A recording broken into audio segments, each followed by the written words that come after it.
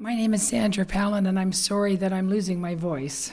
It's not always like this, but I have.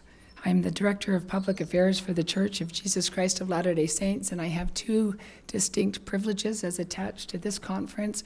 One is to work with the organizing committee, and the other is to introduce Professor John Borrows as our keynote speaker this afternoon.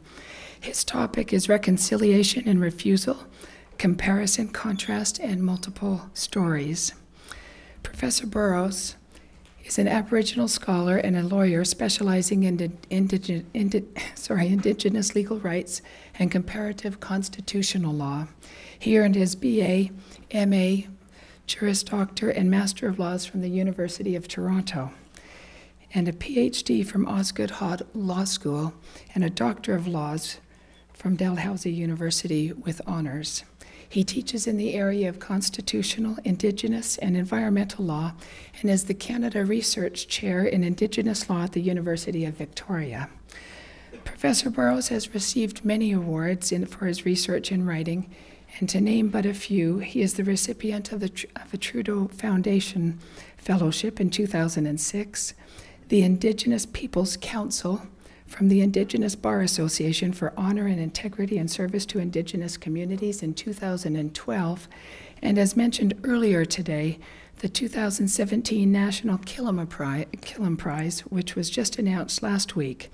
And to quote from that announcement, says John Borrows is bringing about one of the quiet revolutions in our history, restoring Indigenous law to its place alongside Canadian common law for his substantial and distinguished scholarship and commitment to furthering our knowledge about Indigenous legal traditions, John Borrows, holder of the Canada Re- holder of the Canada Research Chair in Indigenous Law at the University of Victoria, was named the 2017 Killam Prize winner in Social Sciences today in Ottawa by the Canada Council for the Arts. Professor Borrows has published four books on Indigenous constitutional law, including The Resurgence of Indigenous Law in 2002, Drawing Out Law, A Spirit's Guide in 2010, Canada's Indigenous Constitution in 2011, and Freedom and Indigenous Constitutionalism in 2015. His work has influenced the recommendations of the Truth and Reconciliation Commission of Canada and the Royal Commission of Aboriginal Peoples. John is Anishinaabe Ojibwe and a member of the Chippewa of Nawash First Nation in Ontario. He and his fun and supportive wife, Kim, live in Victoria. They have two daughters, one of which is autistic, and the other is currently in bar admissions in Victoria and is following in her dad's footsteps. It was in Toronto about 20 years ago that our paths crossed for the first time. We worked together as volunteers in support of youth. And I reported to him. And the thing that I was most impressed about with John at that time was his humility. My esteem for him has grown over the years, not just because of his immense accomplishment, but because of his understanding and acceptance of different perspectives clear, articulate, and never argumentative, John is deeply committed to the conversation. So it's my pleasure to now turn the time over to Professor Borrows.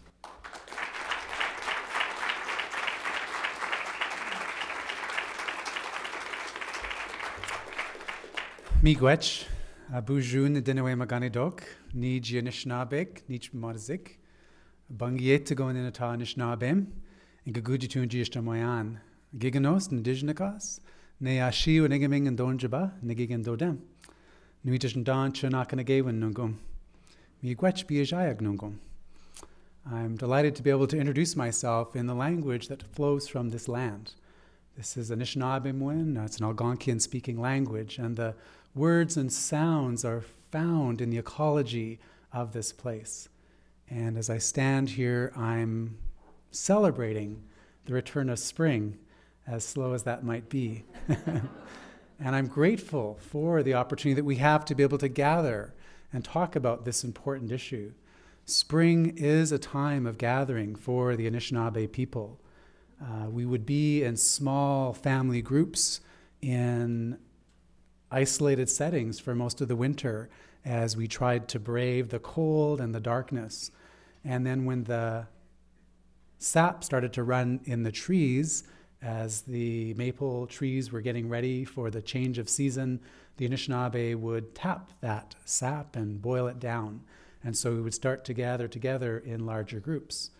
This now being the end of that season, there would be a further gathering, and uh, people would come together in extended family groups from across hundreds and hundreds of miles.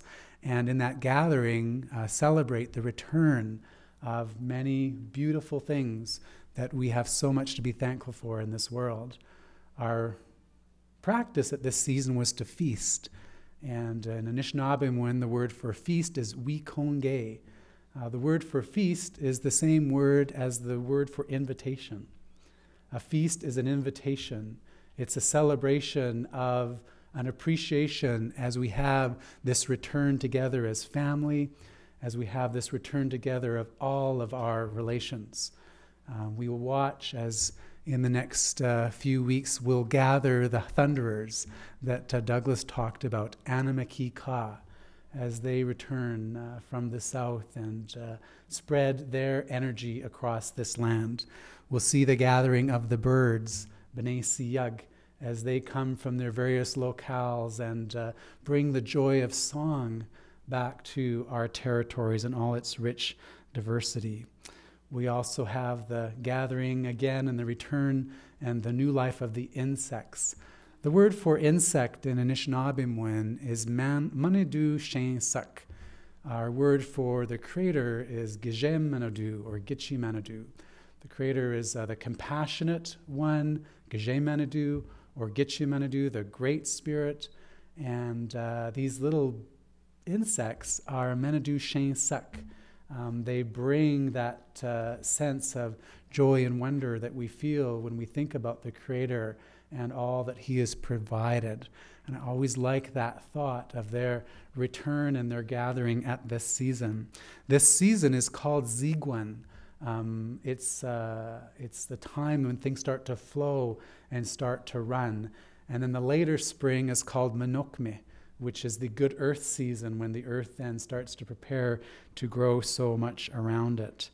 Um, we also have the bears that come out of their dens and the turtles, and uh, we watch the, uh, the, the, the light and the heat lengthen. And in each of these instances, in each of these events, are teachings about how to live in celebration how to live in joy, how to live with one another in peaceful and orderly ways. And much of my career has been spent in drawing out law from these cases or these stories or these principles and these processes that are found around us. For Anishinaabe people, to learn the law is to read the earth and to learn a literacy that analogizes from what is around us in nature and try to think about how we can apply that in our daily lives. Um, so it's a good thing to be gathered here today and to think about all the beauties that we've been given that uh, we have an opportunity to share with one another. I want in my brief time that I have with you today to stick to the theme of this conference. We've been given a think piece paper, and I want to exercise a little bit of discipline in going through some of my thoughts in relationship to this paper. Um, and then I hopefully at the end will return to some of those meta- metaphorical uh, aspects uh, that I so love and would spend most of my life talking about and living if I could. But a question that's animating this conference is whether our religious and secular diversity can be a resource for acting together. And I believe that it can. And I want to describe why I believe this can be the case. As I've mentioned, I'm Anishinaabe. I'm a member of the Chippewa of the Nawash First Nation on the shores of Georgian Bay on the Bruce Peninsula. I'm also a son of a British immigrant who left England after the Second World War. Furthermore, I'm a law professor, as been said, and Canada Research Chair in Indigenous Law at the University of Victoria. And I'm also a member of the Church of Jesus Christ of Latter day Saints, a Mormon. I joined this church when I was 18, and I've been grateful for my faith through these intervening years. My life is marked by these influences indigenous, immigrant, secular, and religious. I belong to multiple communities. I acknowledge that these experiences are narrow, as anyone's life must be, but nevertheless, I want to draw on these experiences to address this day's theme because I think they illustrate the necessity of being open to difference and seeing resources for acting together in those differences. In so doing, I want to echo Chimamanda Ngozi Adichie's counsel to beware the danger of the single story. In my talk, I want to ensure that we do not oversimplify our similarities and our differences. And I believe that comparison and contrast is a key to this endeavor. The juxtaposition of our stories can assist us in welcoming diverse perspectives into public spaces. And comparison can reveal where there are gaps and misunderstandings which might have been overemphasized or undervalued in our relationships. In this regard, I like the insight from uh, Krister Stendahl. Before he passed away, he was the Lutheran Bishop of Stockholm, and he was a professor at Harvard Divinity School.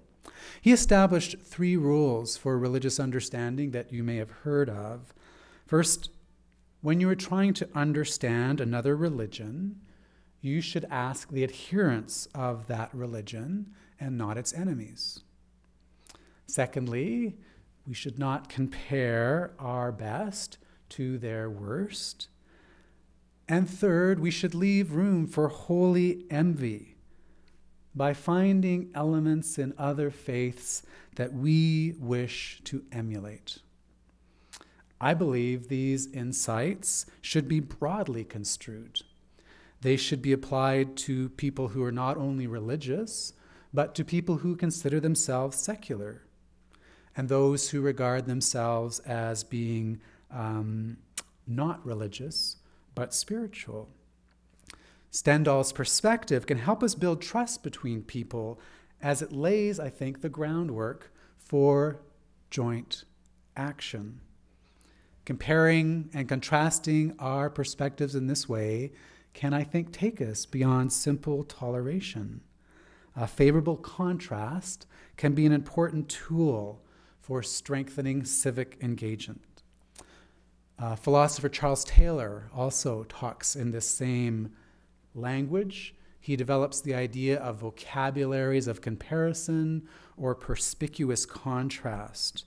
Um, this is a way of understanding others that tries to understand people from their own internal uh, views and then compare on that basis. For me, this is the path of learning uh, because it reveals where our own ethnocentricities may get in the way of understanding in both our private and our public lives. Now, as we apply these methodologies, we must not assume that all voices have equal access to the public sphere. Some religious and secular commitments are tied to greater economic, social, and cultural power. That is, not all tweets, posts, and articles and expressions are created equally. And I think we see this power imbalance in our own history. At the time of Confederation, Canada was predominantly a Christian country. Most citizens with this belief and this spirituality um, found great joy and guidance in that, but it also became a vehicle to exclude others from fellow citizenship and mainstream society. As we've heard this morning eloquently, Aboriginal peoples were indoctrinated in residential schools, and their views were marginalized. Uh, Jewish people faced significant discrimination in freely structuring their affairs in this country. Uh, people from Asia, Africa, and the Caribbean were denied entry to this land. All places where Islam, Hinduism, Confucianism, other religions prevailed at the time.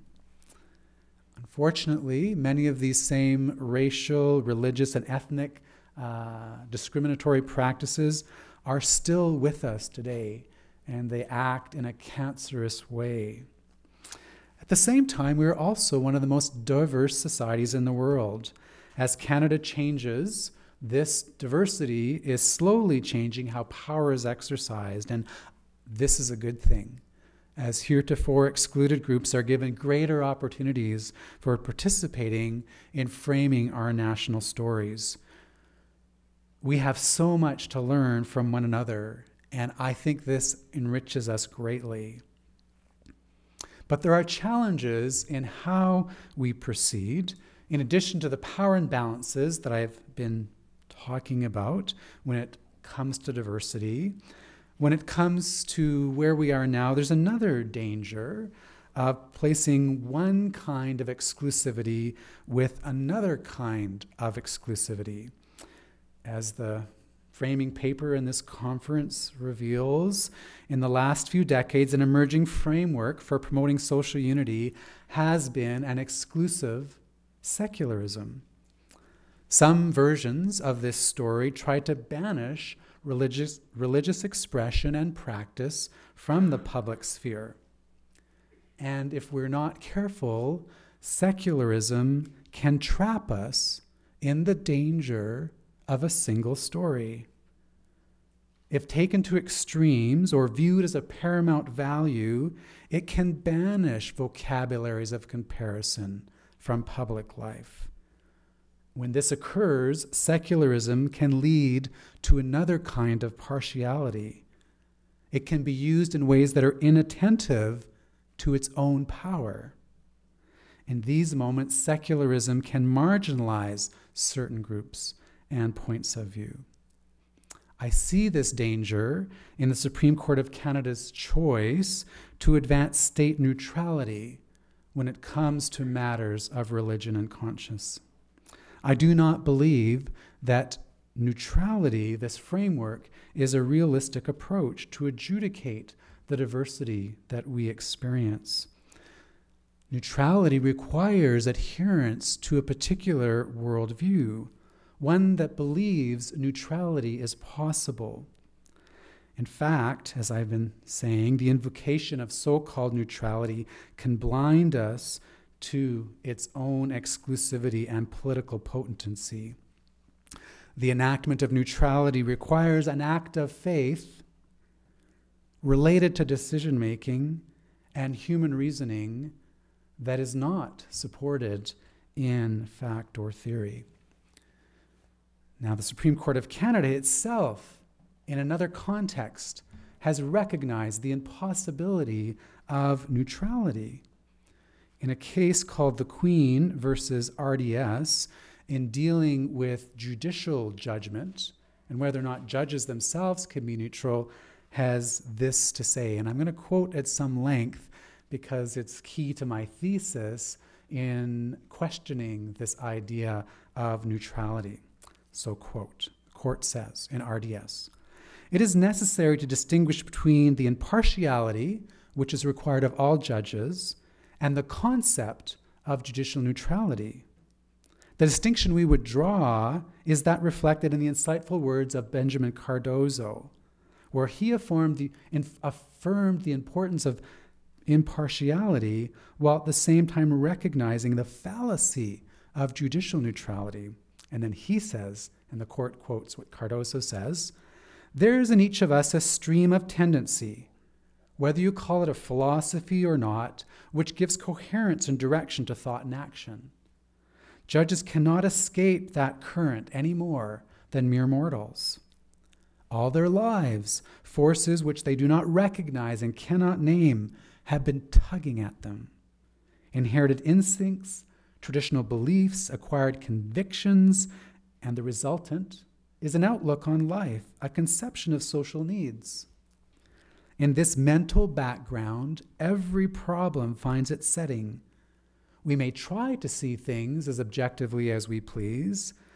Nonetheless, we can never see them with any eyes except our own.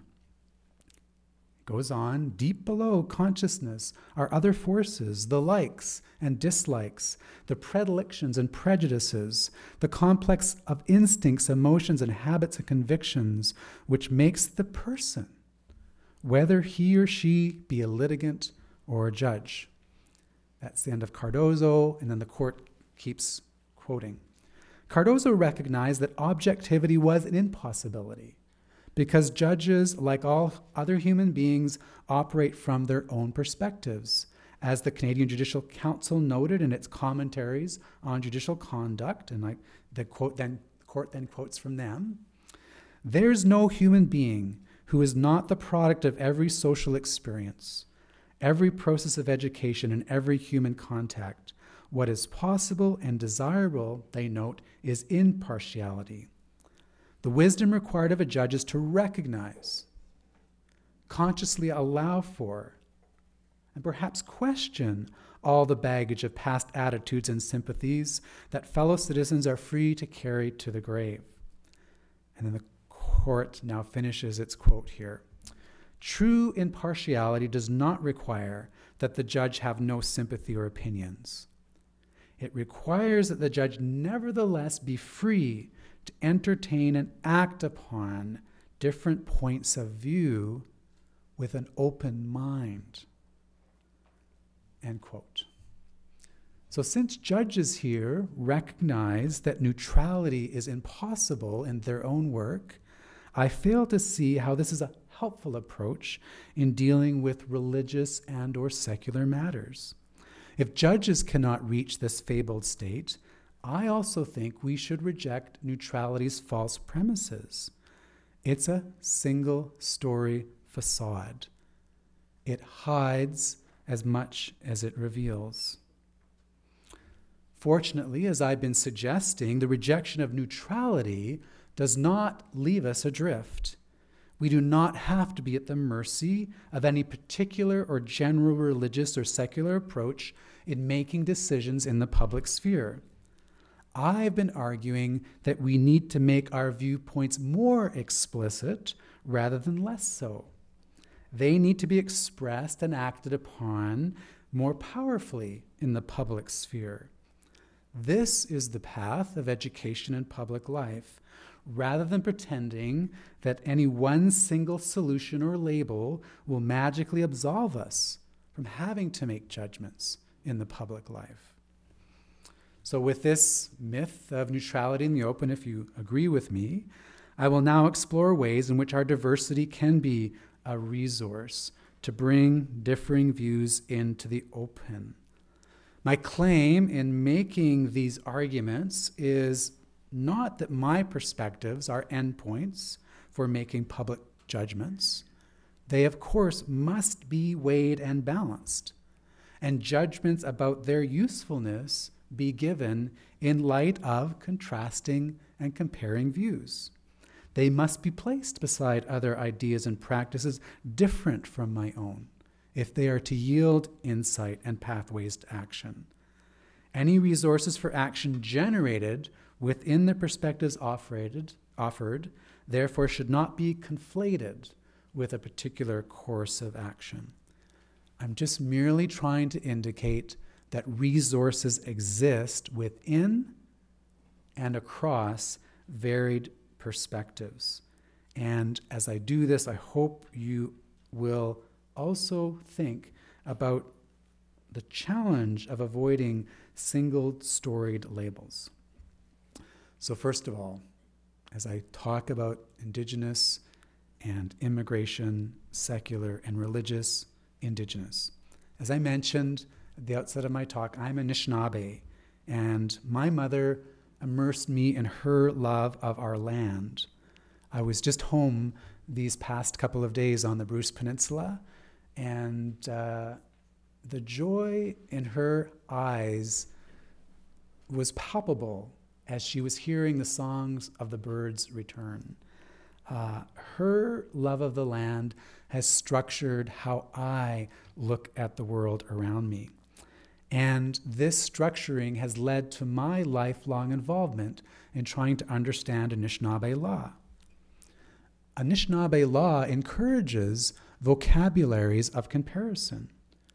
Contrast is present in our stories, and it's particularly given prominence in the stories we tell about our trickster figure, Nanabush. This trickster engages in behaviors which are simultaneously kind and mean, charming and cunning, selfless and selfish, sometimes even in the same moment. Telling stories about the trickster encourages listeners to see themselves in his actions. Because we can likewise embody these same contrasting qualities kindness, meanness, selfishness, selflessness, charming, and cunning. We are the trickster.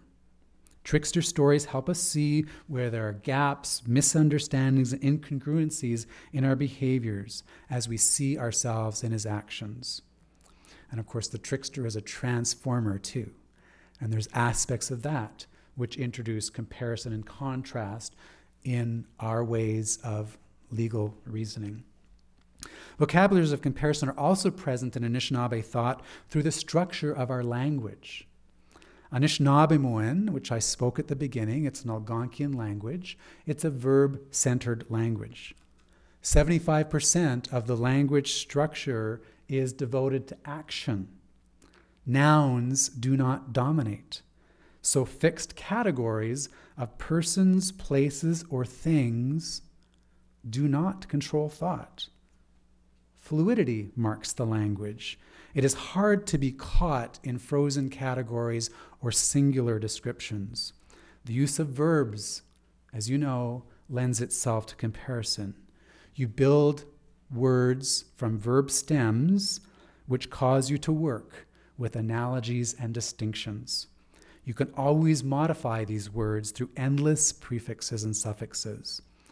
Um, for example, we have at least 10 pronouns in our language.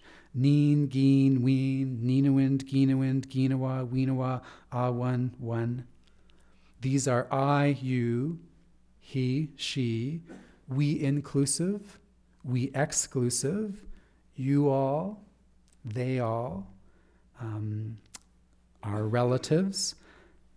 And then we even have descriptors for a fourth person in a conversation and a fifth person in a conversation. These pronouns mean there's no word order in Ojibwe because you mark who's speaking or being spoken about by the marking of the pronouns. And this puts us into constantly shifting relationships with one another. Furthermore, our nouns are marked by animacy and inanimacy. Rocks are living in Anishinaabemowin. A Cree student of mine, Danica Littlechild, spoke about water as living. Now, Cree is a closely related Algonquian language. It's very close to Anishinaabemowin. And she wrote in her master's thesis, Nipe is the Cree word for water. Ne derives from Nia, meaning I or I am. Pi derives from the word Pamatsuin, meaning life. Nipe is thus properly understood as meaning I am life. Water is lifeblood in Cree. She says, animating us as human beings and all that is around us. The Cree language operates on the principle of anima, life force. Understanding that elements of ourselves and our environment have an inner life force determines how those elements are described, usually in a relational manner. Water is much a process as it is an entity. Water has many identities in our language, she says. Over 40 words or phrases in Cree describe water in all its forms and manifestation.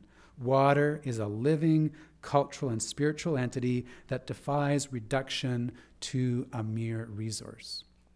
Think about the resources for reasoning public action that's found in this descriptor. And the point I'm making is that when Indigenous thought is placed in comparison with other viewpoints, we may find significant opportunity and resources for making decision.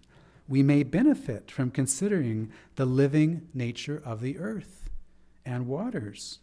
We may gain something from understanding the fluidity of personhood as drawn from languages which are indigenous to the territories we call home. You may be aware in New Zealand, the parliament there has recently enacted legislation recognizing the Whanganui River as being a living being. It has representation in the law. Just as we're familiar with corporations in Canadian law having legal personality, now rivers in that country have a personality that has to be protected.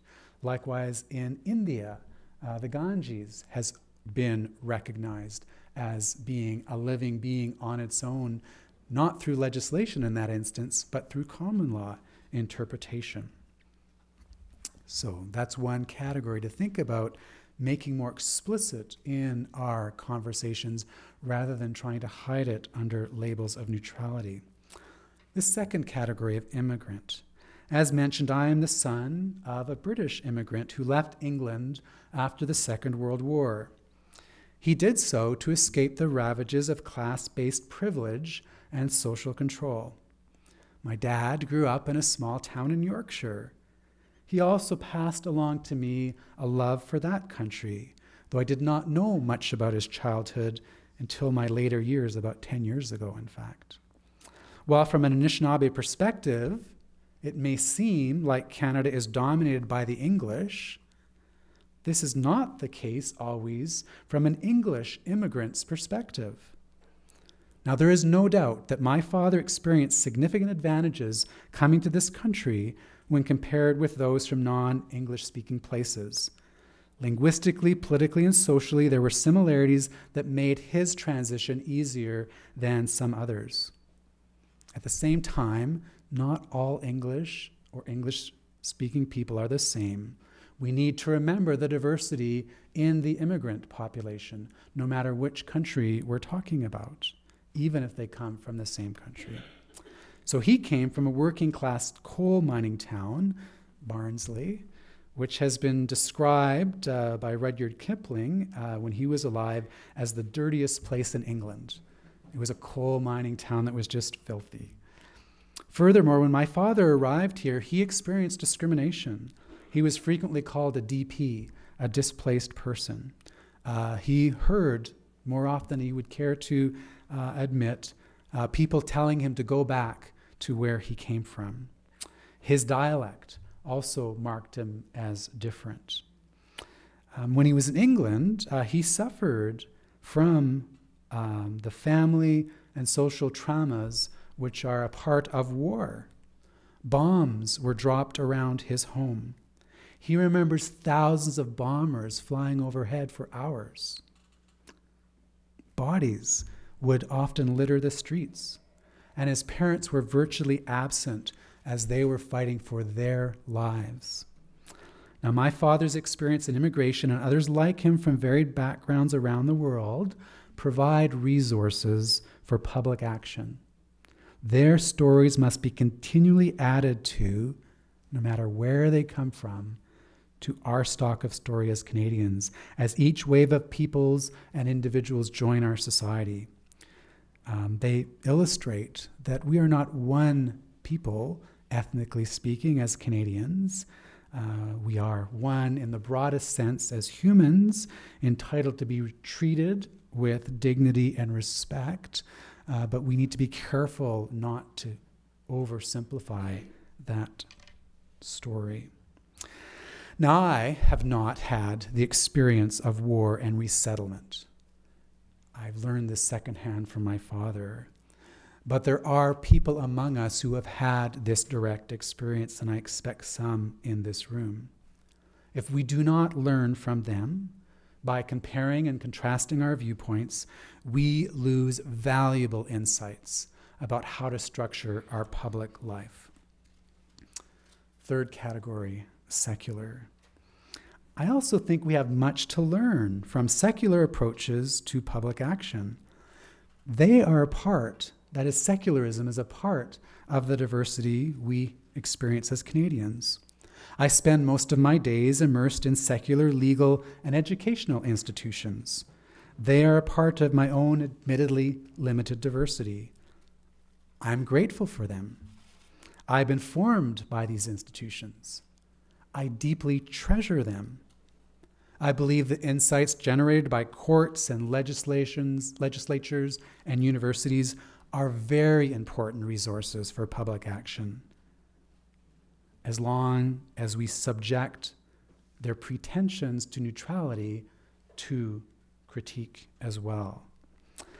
So, I want to talk about these institutions. Courts are a significant venue for, answer, for advancing secular views in Canada, and they have triumphed in many respects because of the application of comparison and contrast. In fact, common law courts have long functioned through juxtaposition and vocabularies of comparison. That's the adversarial method in trial and appellate court uh, decisions. You compare and contrast different stories, you compare and contrast different accounts of law. It's a way of being aware of the dangers of a single story. As these contrasting stories are put into sharp relief, we get a testing and a critiquing of contrasting viewpoints, which in some ways can attenuate falsehoods misperceptions and frivolous actions. Um, they create one way of even testing our own biases as we bring them into conversation with others. But it's not just the adversarial method that does this in the courts that we find value in. Uh, we find it in doctrinal matters too. Uh, constitutionally, we have federalism. Federalism is a system of comparison and contrast, putting stories together, uh, as we have to draw lines between jurisdictional boundaries, doctrines of double aspect paramountcy, interjurisdictional immunity. These are the kinds of tools that are used to advance public debate in bringing diverse perspectives together, how Quebec might differ on something than Ontario or British Columbia. Likewise, charter cases balance rights through comparison and contrast. Section 1 of the Charter invites juxtaposition and weighing and balancing points of view. It includes evaluating whether a government action has a pressing and substantial legislative objective and whether such government action is proportional to its objective. This again is done through analogies and distinctions, comparing and contrasting rational connections, minimal impairments, social utilities. Courts have long used approaches which generate resources for action through juxtaposition. They don't need to add the extra label of secularism.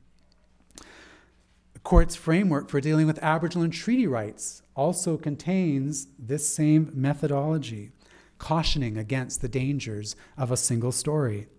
In a case called the Queen versus Van der Peet, the court wrote, and I quote, The challenge of defining Aboriginal rights stems from the fact that they are rights peculiar to the meeting of two vastly dissimilar legal cultures.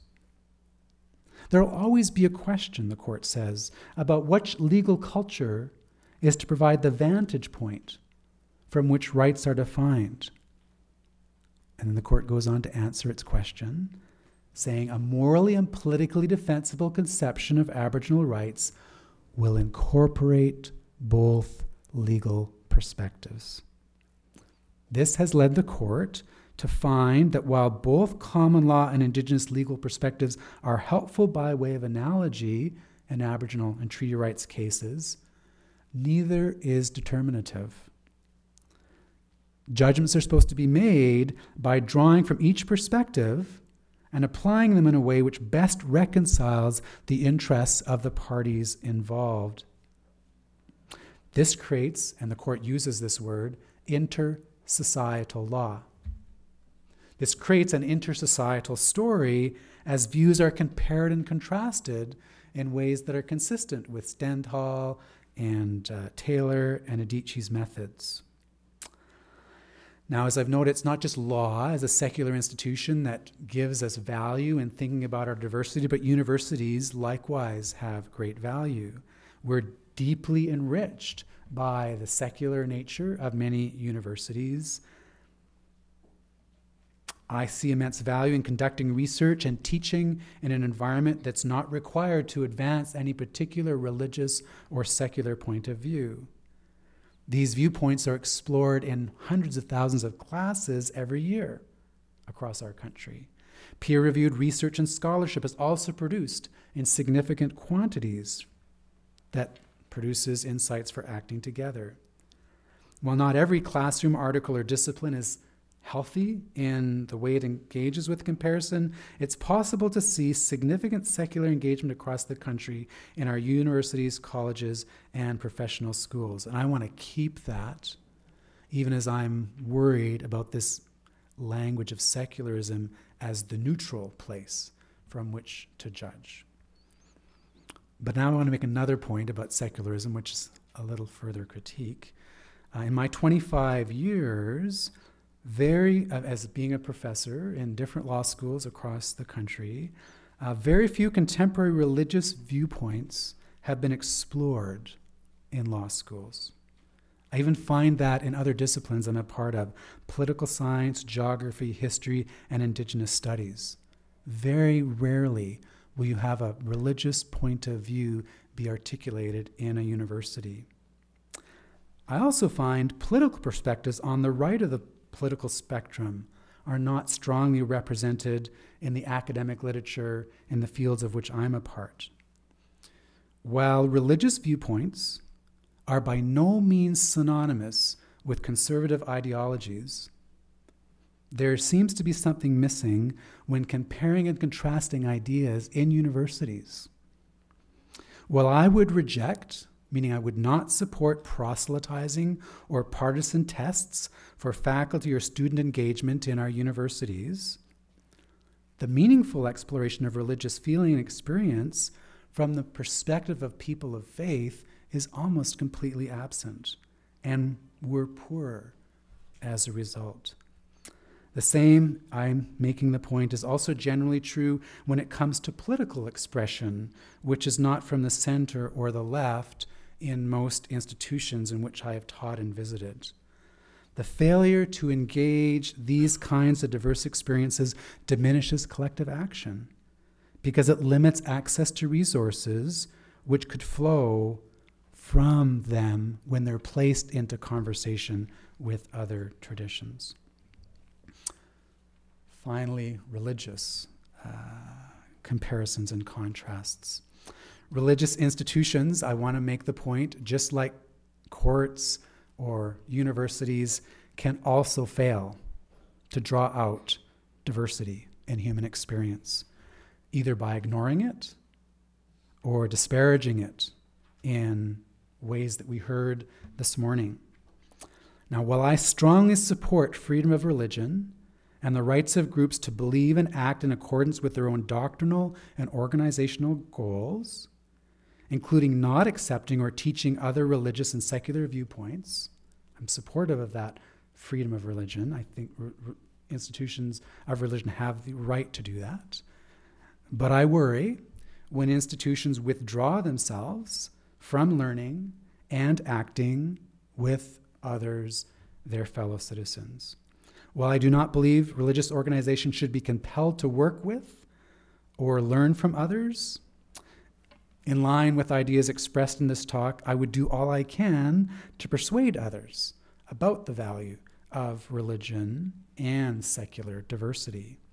I believe comparison and contrast can advance spiritual, religious, and secular pursuits through intersocietal and interfaith, interfaith action even as people hold dramatically different points of view. I think I've learned more in my life about my own beliefs, practices, and commitments when they're placed in contrast with others. I've learned more than I've ever done in insulating myself from other ways of viewing and living life. Now, fortunately, my experience is that there are significant indications that many people of faith have not isolated themselves from others and are alive to the complexity of their faith traditions and others around them. Um, I want to give some examples here. There are some 900,000 Indigenous peoples in Canada who are Christian. For many Indigenous Christians, comparison and contrast is a daily fact of life. We have experienced the tremendous gap between the real and the ideal in terms of how Christianity is presented and practiced. Residential school abuse, discrimination, belittling, and marginalization stand in contrast to Jesus' call to love one another. Many indigenous peoples also practice a Christianity which is syncretic, blending and combining the best of their religious and secular uh, traditions along with their spiritual traditions. Those who are not Christian in indigenous communities, traditionalists, can also practice in this comparing and contrasting ways as they embrace syncretism, as they make their teachings and practices live in today's world. There are also many indigenous peoples who reject religion and spirituality, but who nevertheless see powerful metaphors for public and private action in their own lives, which are drawn from those traditions. I also see the same thing, this use of comparison and contrast amongst Indigenous people in Canada who are Muslim, Buddhist, Jewish, and adherents of other religious faiths. While there are fewer in numbers than uh, Indigenous Christians. Most Indigenous peoples I've met who practice uh, their faith in these uh, environments uh, do so in a way that's alive to contrast to comparison. I'm going to do some self critique here, where I think Indigenous peoples tend to be parochial, parochial, and narrow, is in our uh, affiliations related to our First Nations. There is a nationalism there. There's many reasons for that. There's a lot of health that can be attached to that because it's a protection against the overwhelming forces of colonialism. But like other communities, First Nations can pursue nationalism in a way that can be exceedingly inward looking and dogmatic in its orientation and can be turned into another kind of single story that gets in the way of our ability to learn. Of course, First Nations are not alone in that. When you see what's happening in the United States and England and France, other countries where nationalism is on the rise. Um, so there are challenges and problems in First Nations communities on this front. But interestingly, in the field of Indigenous religious engagement and spirituality more generally, I see a much broader engagement. The nationalism sometimes ends a little bit at the political, and there's this willingness to embrace, explore, compare, and contrast other religious traditions. Now, this broader way of viewing religion and spirituality is also something that attracts me to my faith. As mentioned, I am a Christian. I'm a member of the Church of Jesus Christ of Latter day Saints, a Mormon. Uh, Mormon thought and practice also encourages us to draw insight from our diversity and find common cause with others in the public sphere. Uh, the current president of the Church of Jesus Christ of Latter day Saints, Thomas S. Monson, recently said, I would encourage all members of the church, wherever they may be, to show kindness and respect for all people everywhere. The world we live in is filled with diversity. We can and should demonstrate respect towards those whose beliefs are different from our own. End quote. One of President Monson's counselors in the first presidency, Dieter Uchtdorf, echoed these sentiments. I quote We honor and respect sincere souls from all religions, no matter where or when they lived, who have loved God.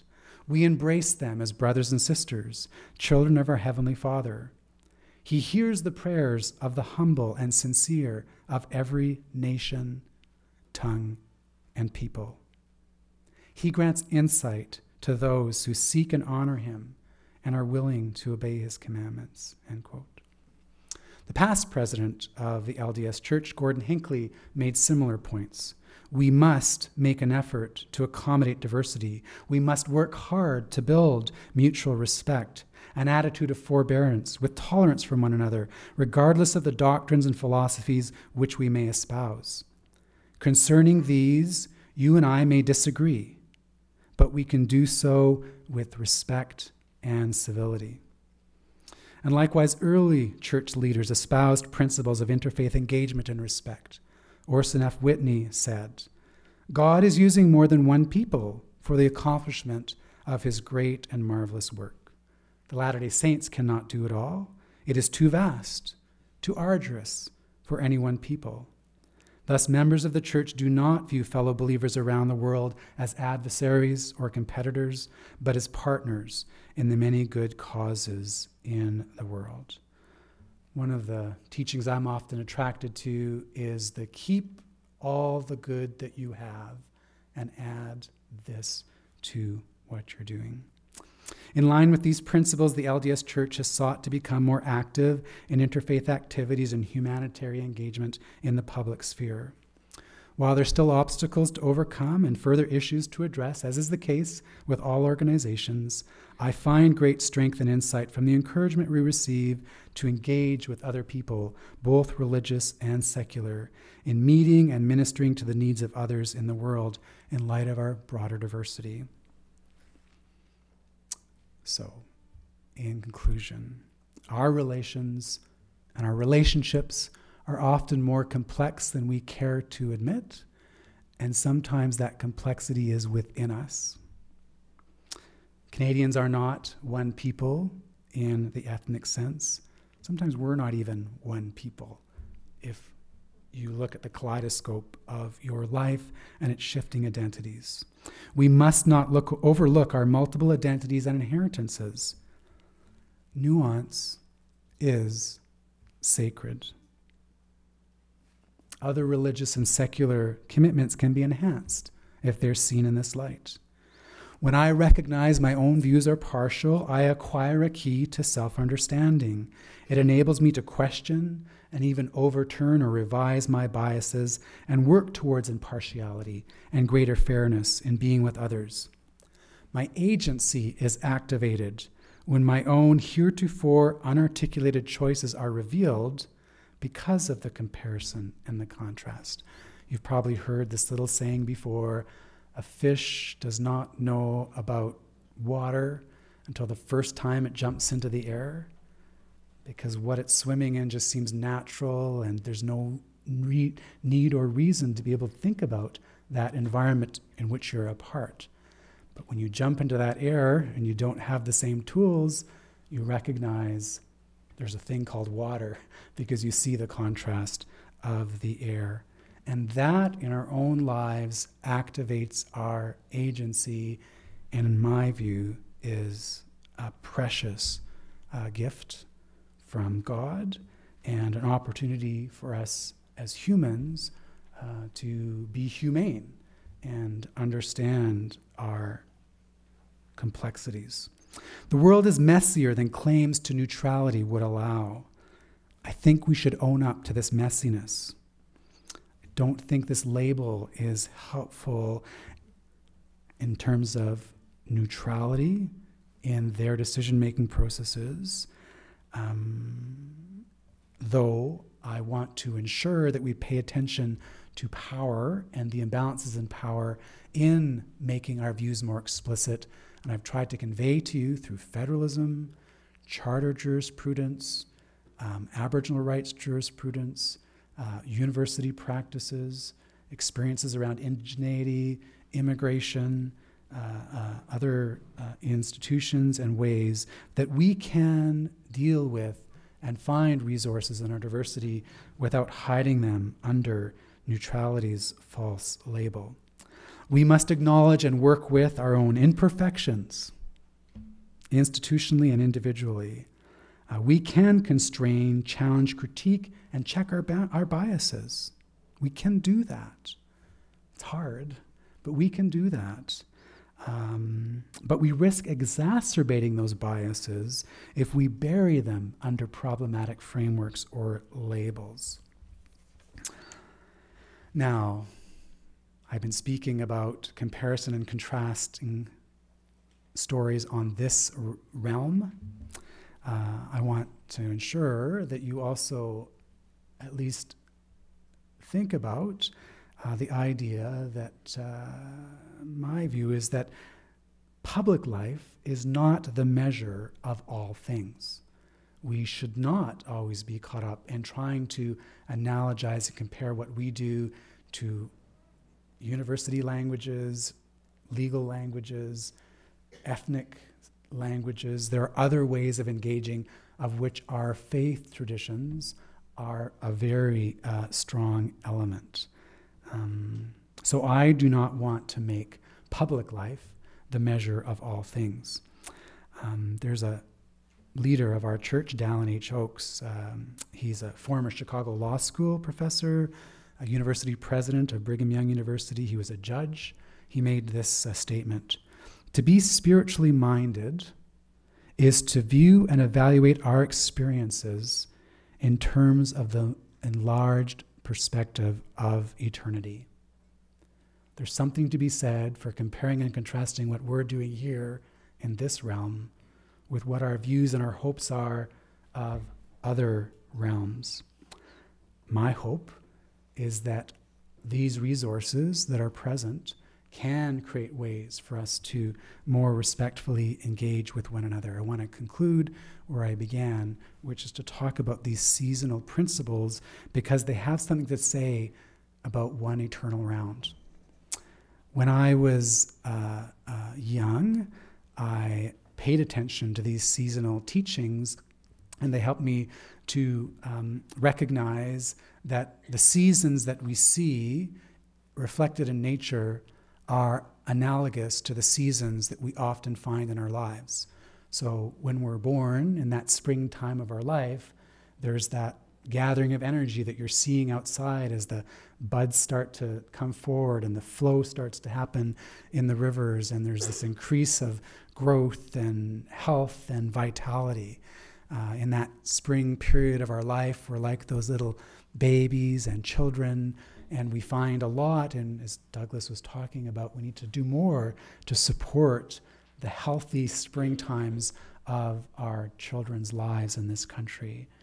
Uh, but then we can move off and think about the summer um, when we're uh, young adults and adults as uh, new parents, and we've got this period of growth and vitality as there's a long season of harvest, as we work and we support and we sustain one another. You just think about what happens in summertime, and you see what often happens in young adults and uh, young parents' lives as uh, they reap and take advantage of those long days of growth.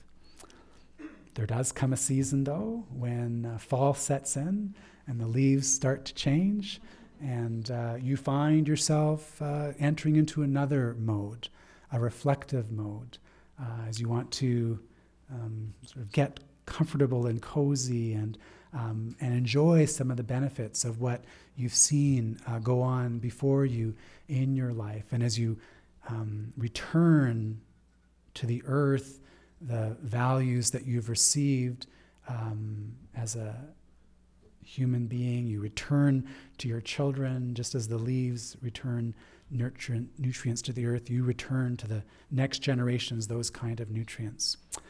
And then there comes that period when we pass on, uh, as we're this late stage of our life, uh, often winter.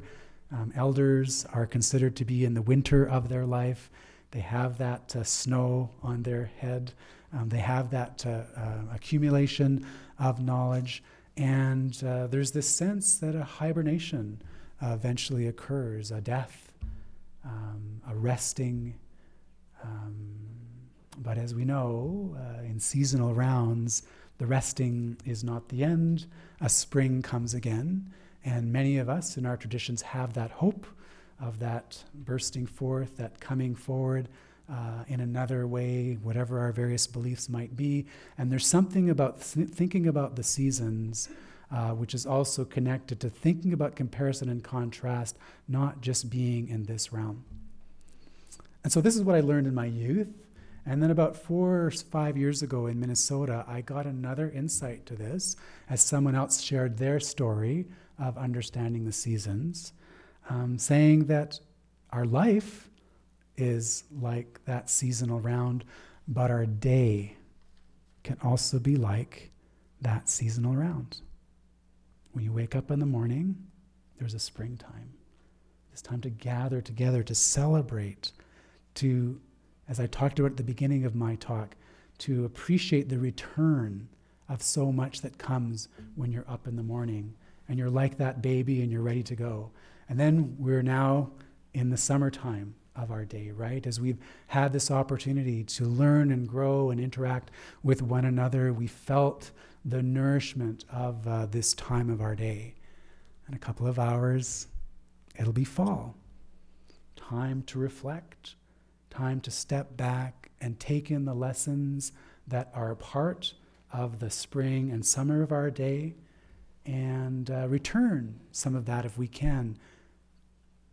Appreciation to our children, appreciation to our loved ones, appreciation to others that are around us, that uh, they feel what happens in the fall. And then we go to sleep. And we're like those elders. We have a chance in that state to be able to gather together those insights in ways that are not linear and in those ways be guided by what we learn as insights come in that fashion. This way of thinking about seasonality, both across our life and in our day, gives us reason to celebrate every day. It's a part of the comparison and the contrast that we can bring to our life. To again quote from Dallin H. Oaks, to be spiritually minded is to view is to view and evaluate our experiences in terms of the enlarged perspective of eternity. I hope that we all find resources in our comparisons and contrasts. I look forward to continuing to learn from you, and I'm grateful for the time we've had here today. Uh, Thank you.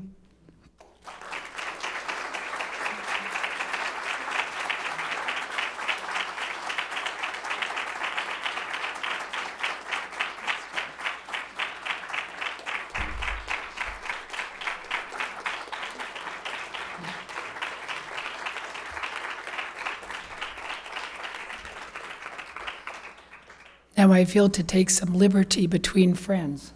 Okay. Thank you. Thank you for that thoughtful and uh, compelling presentation on contrast and comparison.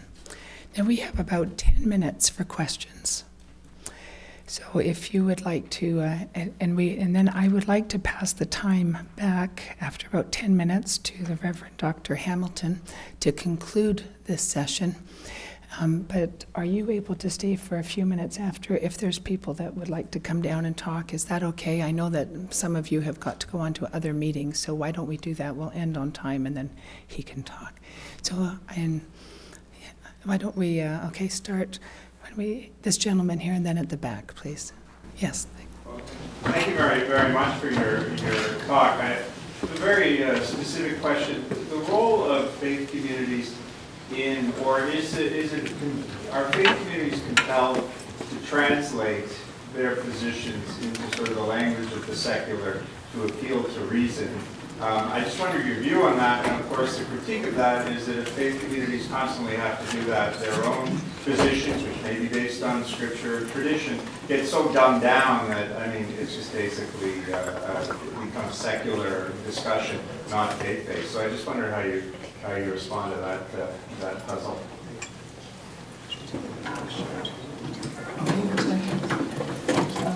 Yeah, I'd like to comment on uh, neutrality. I mean, I'm very attracted by your, your presentation, and I would love to have believed that um, in the justice system uh, we could get rid of this notion of neutrality and that the uh, justice system could take account of various uh, faith beliefs systems, various uh, different uh, cultures, and so on. Uh, but in fact, we have a situation, or we certainly have had, in which the power of a particular faith community is so much greater than that of all the others, whether it's the Catholic Church or the Pres uh, Presbyterian Church or Islam or Buddhism, um, that the idea of neutrality seems to me to be a second best. Because if you're allowing the justice system to reflect the, the uh, environment of the belief systems, you're going to get the, an overpowering uh, one belief system very often. Those are both wonderful questions, and, and thank you. I'll try to do my best to start to address them. Um, you and I are on the same page in terms of my concern about power and the way that uh, power can operate to marginalize uh, particular points of view, be they secular, spiritual, or religious. And uh, I guess the question becomes then how do you deal with uh, that power? And there is an attractiveness to talking about neutrality because it seems to provide the uh, solution to the exercise of authority where one doesn't dominate over the other. Um, but I've tried to show that there's an alternative way to dealing with these uh, power imbalances, which are found in the institutions and the doctrines that we already have in the courts. Uh, the uh, Section 1 analysis in Oakes, the federalism analysis, the Aboriginal rights analysis, the way we function in our universities. And the reason I worry uh, about the, um, the labeling and the use of neutrality, uh, in addition to what I've talked about, is um, the existence of heuristics and cognitive biases that are present in our, our rational so called uh, ways of functioning. There's a, a wonderful book uh, uh, by, I think his name's Daniel uh, Kahneman um, called Thinking Fast and Thinking Slow. And this book is, a slow read, uh, but he's a Nobel Prize winner in behavioral economics. And he illustrates that we can fool ourselves into thinking that we're being rational when in fact uh, we're subjecting ourselves to all these cognitive biases. I know our other plenary speaker has talked a lot about the um, the di- dictatorship of uh, rationality, and uh, rationality itself is not something we can always depend upon. That there are other things that are embodied and embedded in the way that we function that need to be taken account of. Our emotions, our, as I'm expressing here, our religiosity. So we are sharing the same concern, and then the question is whether or not the label of neutrality uh, gets us there when the court even says itself it's not possible in other instances, or whether the kinds of things or other things that you might suggest, or we might have another way even uh, to following that. Now, the second question has to do with uh, our faith commitments and whether or not uh, we're always compelled to translate them or whether uh, we can do justice by keeping them uh, in their context on their own. And in my view, we need to do both. Um, it's really important that we don't water down our ways of expressing ourselves and uh, always be melding them and manipulating them uh, to match someone else's language. That would be an erosion of who we feel we are in terms of our commitments. And uh, so I think we should do all we can to continue to develop those uh, languages that are, are special and unique to our different groups. Um, but that does not mean it's not important to try to talk to other people about what our beliefs are, and as best we can, through languages of analogy, comparison, and contrast, present a view where we might not get an overlap in that understanding, uh, but uh, can uh, give us a place to start to work towards that public action. And I, I worry about reason being the only way to do that. I think art is very powerful in bringing people into experiences of other uh, religious, secular, spiritual, but not religious uh, ways of proceeding. And what I find very interesting about what you've asked as a question is what I'm dealing with day to day in my life around Indigenous issues. Indigenous peoples often ask, do we have to talk the language of Canadian law? Do we have to talk English? Do we have to translate and put our views into others' words? And it would be nice if that wasn't always required of Indigenous peoples, particularly given the power imbalance that's there, and more needs to be done to revitalize and create resurgence around those ways of being in the world. But at the end of the day, there are a lot of folks living on our territory, and there's a need for understanding about why it is we take some of the positions that we adopt. And even though it's always going to be imperfect and uh, partial in the way that we reach across with those translations, they're better than I believe uh, the alternative. And not everyone needs to do both things. Some people can tend to just celebrating and developing and cultivating that language that's there in that place. Some people can devote themselves uh, to translation, and some people might be in that bridging place, walking back and forth between those two different worlds.